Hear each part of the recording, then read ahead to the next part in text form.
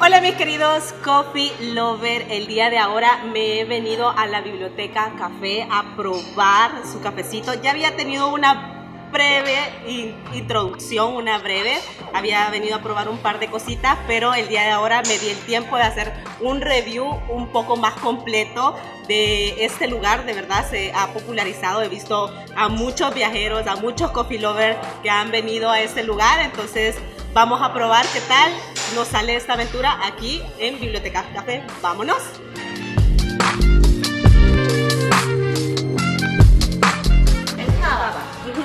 Eh, sería en un B60.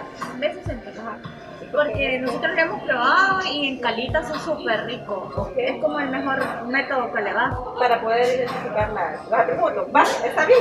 Perfecto, entonces sería calita. ¿Qué tamaño prepara? Eh, sería para dos tazas. No sé cómo. De 12 onzas. 12 onzas, ajá. Sí.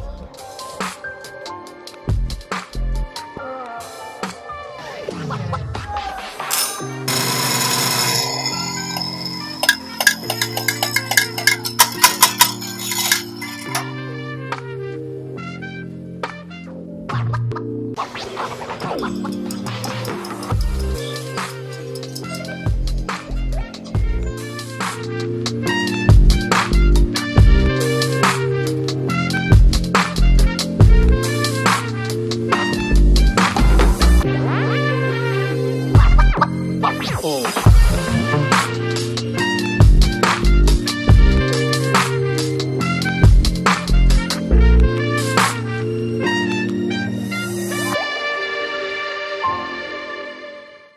aquí está como un espacio súper chivo donde pueden venir a leer, incluso hay juegos interactivos para venir aquí con los amigos y disfrutar.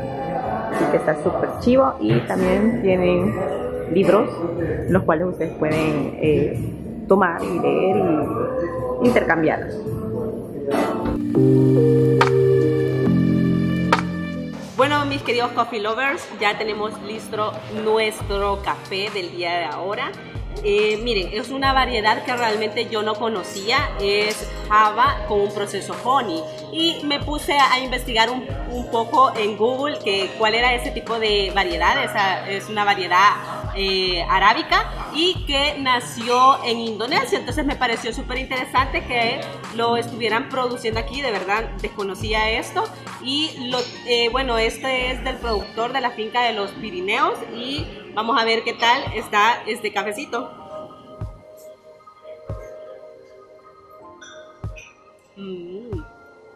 Tiene una acidez bastante agradable, sabores cítricos y se siente de verdad creo que este café lo hicimos en método Calita y fue una excelente recomendación de la persona que nos atendió, del barista, porque sí se siente bastante bien los atributos de, de este café. Vamos a ver, segundo sorbo. Me gusta mucho.